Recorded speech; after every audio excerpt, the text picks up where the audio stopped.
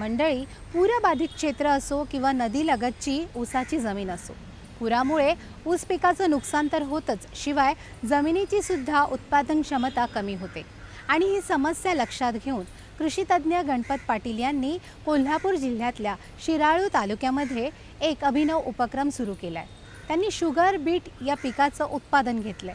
काय आहे हे उत्पादन आणि याचा काय फायदा होतो? जाणून घेऊया या वृत्तांतामध्ये. कोल्हापूर जिल्ह्यातील शिरोळ तालुका आणि परिसराला दरवर्षी महापुराचा फटका बसत असतो. त्यामुळे मोठ्या प्रमाणावर ऊस पिकांचं नुकसान होतं. याचा फटका ऊस उत्पादक शेतकऱ्यांना बसतो. हे नुकसान भरून काढण्याच्या उद्देशानं ज्येष्ठ कृषीतज्ञ गणपतराव पाटील यांनी राज्यातील नामवंत शेतीतज्ञ आणि कृषी शास्त्रज्ञांचं चर्चासत्र आयोजित केलं. या सत्रात ऊसाला पर्यायी म्हणून शुगर बीटचा पर्याय समोर आला. शुगर बीटचं प्रायोगिक तत्वावर उत्पादन घेण्याचं ठरवण्यात आलं. याला शेतकऱ्यांनीही उत्स्फूर्त प्रतिसाद दिला. त्यानुसार पन्नास शेतकऱ्यांच्या बावन्न एकर क्षेत्रावर प्रायोगिक तत्वावर शुगर बीटची लागवड करण्यात आली.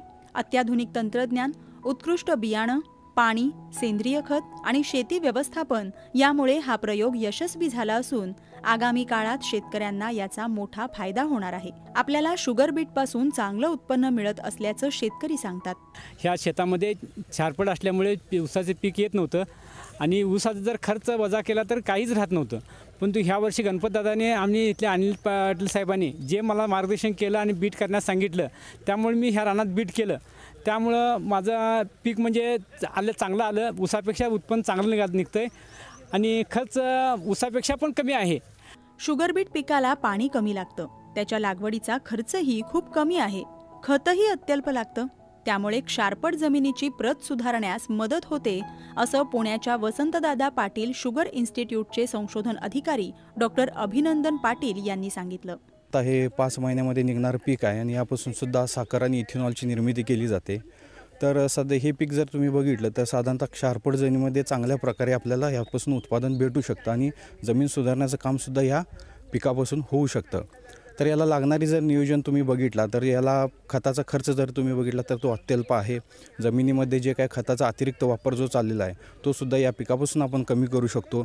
पाण्याचाही तुम्ही जर वापर बघितला तर यामध्ये कमी होतो आणि उत्पादनही आपल्याला चांगल्या प्रकारे भेटतं. तर आम्ही शेतकऱ्यांना पन्नास शेतकऱ्यांना एकत्र बोलवून त्यांना बीट करण्याच्या संदर्भात माहिती दिली आणि व्ही एस आयकडून बियाणं आणून त्यांना बीट करायला लावलं आणि वेगवेगळ्या अर्थानं प्रयोग केला.